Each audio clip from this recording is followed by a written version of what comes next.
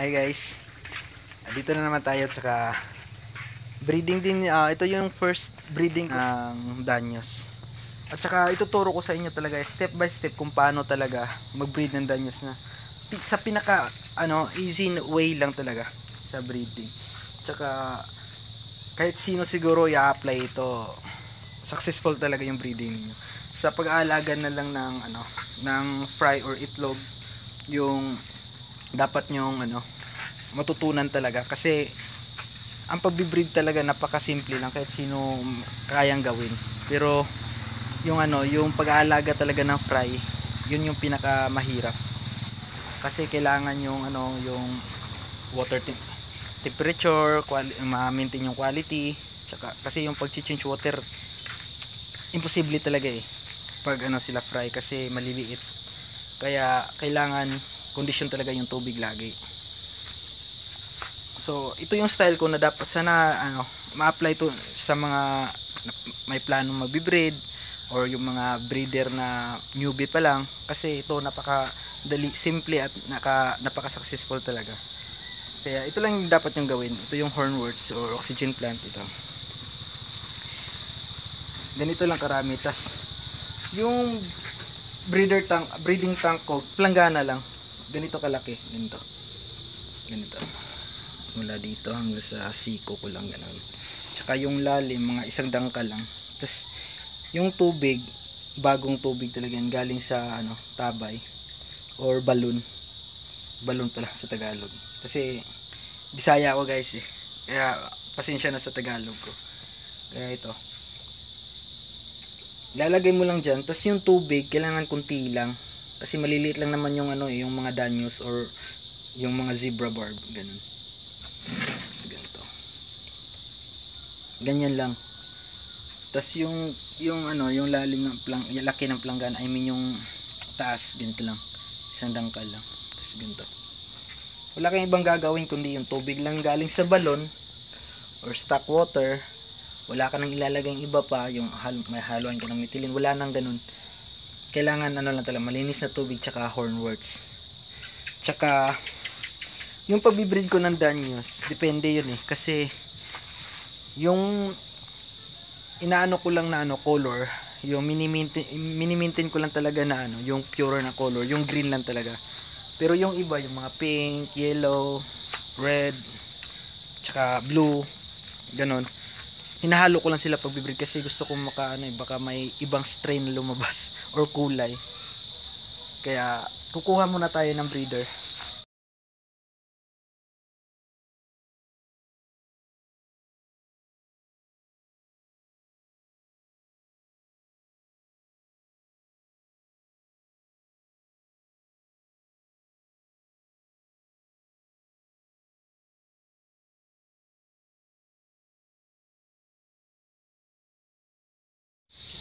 At ito na guys, yung mga breeder natin. Pasensya na talaga sa quality ng ano, video natin kasi luma tong phone na gamit ko eh. Pagtsagaan nyo na lang. Importante yung ano talaga, yung knowledge. Ito guys. Ito yung breeder natin. Mga breeders. May high fins tsaka non-high fins. Walang green kasi dito ako nagbi-breed ng green eh hindi ko lang na ano yung process ng pag ano ko sa green. Ito yung green ko. Ganun din pero maliit lang na ano na planggana yung gamit ko. Pero pwede na yan guys. Basta kunti lang yung ibibreed mo. Ito malaki laki kasi medyo marami sila eh. yan kita nyo naman guys. Sa tingin pa lang malalaman mo na kung ano yung babae eh. tingnan nyo. Fin to. Pink. Yan ang laki ng tiyan Tsaka ito yung lalaki. Mahaba lang yung kataw yung ano niya, yung body niya. Na walang di ba? Walang ka, kano ano. Di tulad ng babae, malaki talaga yung tiyan nila. Kaya napaka ano talaga, madali lang malaman kung saan yung babae at saka lalaki.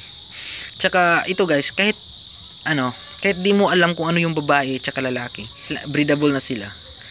pwede mong ihalo lang sila guys pag ano, pag di mo talaga, imp- di importante sa'yo yung uh, minimaintain yung strain or kul- kulay, ganun. Pwede mong ihalo sila lahat, tsaka magbibreed lang yan sila. Kinaumagahan, mga alas 7, doon na doon mo na ano, 6.30 or 7, pwede mo na silang kunin. Mga ganun. Hayaan mo na lang guys, basta medyo busy ka, kahit 6.30 or 7, ganun, pag kinuha mo na sa oras, ah, kinuha mo na sila sa oras na yan, di naman nila kinakain agad yung itlog nila eh.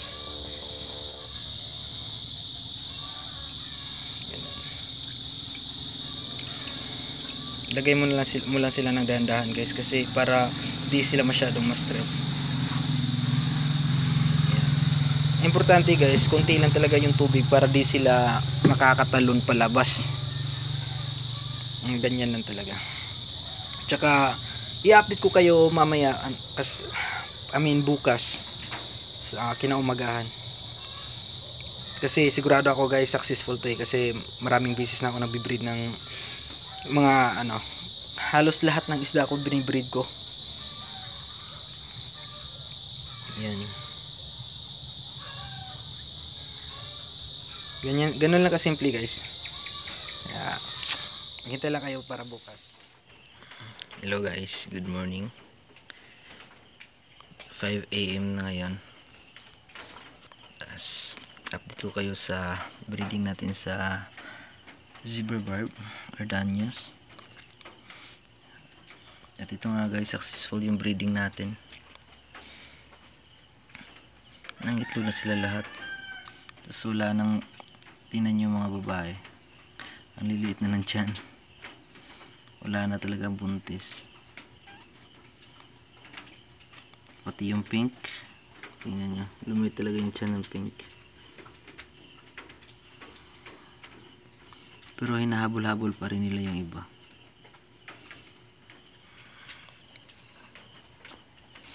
Hayaan muna natin sila hanggang mga 6.30 or 7 a.m. tsaka yung green danyos natin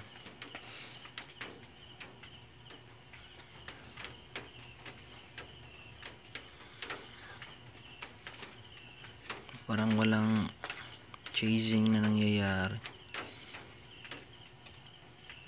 Ang laki ng ay meron na pala. Yun.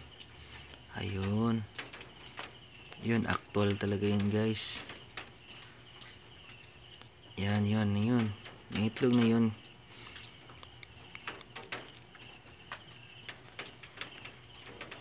Yan yung spawn nagsuspawn sila ng egg guys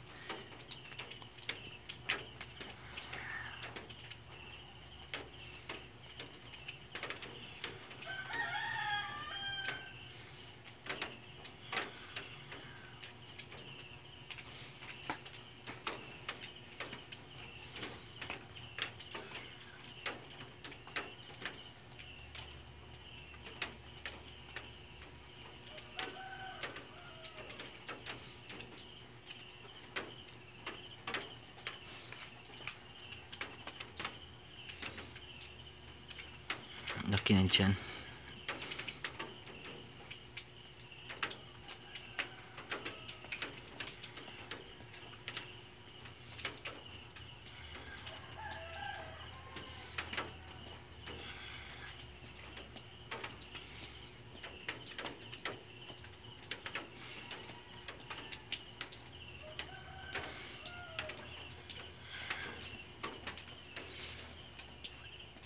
Yan. Sige, habulin nyo.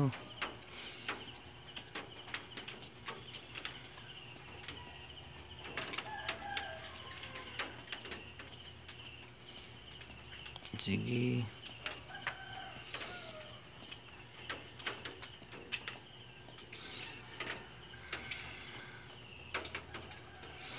Pag nagbe-breed kayo ng danyos guys, kahit di nyo man na na ano sila I mean nakita nagsuspawn sila ng eggs successful ba sila or hindi na naglay ng eggs ang gagawin nyo lang guys kasi mahirap i mahirap talaga tingnan or di, di, na, di talaga madaling makikita yung itlog ng ano mga danyos kasi sobrang liit tsaka napaka napaka-transparent. Parang kulay, kakulay din ng tubig. Kaya, ang gawin nyo lang guys, pag nagising na kayo ng mga 6.30 or 7, di na sila nag-chasing, wala nang spawning na nangyayari, kunin nyo lang sila lahat guys. Pabayaan nyo yung breeding tank nyo or yung planggana na binibreedan nyo. Tapos sayaan nyo lang yun ng mga limang araw. Para ma- makita nyo kung may ano talaga, nabuhay na ba yung mga napisa ba yung itlog. Kasi malalaman sa limang araw, tsaka mo malalaman na ano yung itlog, may itlog, may anak pala sila. Successful ba yung breeding niyo?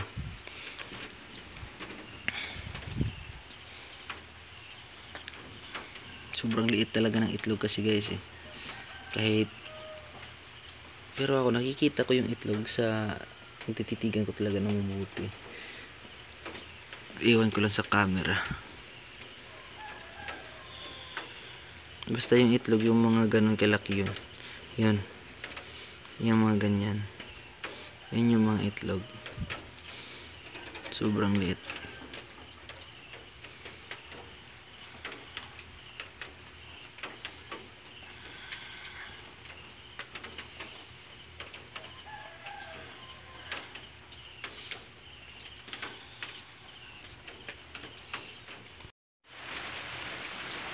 So ayan guys. Kita niyo naman 'di ba na successful yung breeding natin. At saka may itlog na rin ako nakikita dito guys. Ang dami tingnan niyo. Iwan ko lang kung makikita ba sa phone. Yan, yan. Hindi yung babos guys, yung ano. Hindi ko nakikita sa camera. Nasa nasa ano, nasa ilalim yun. Transparent na bilog. Yun yun. Yun, nagkukumpol yun. Itlog yan guys. Yan yung itlog ng mga danyos. Yun. Nandito pa. Marami dito sa ano. Sa hornworts. Yan.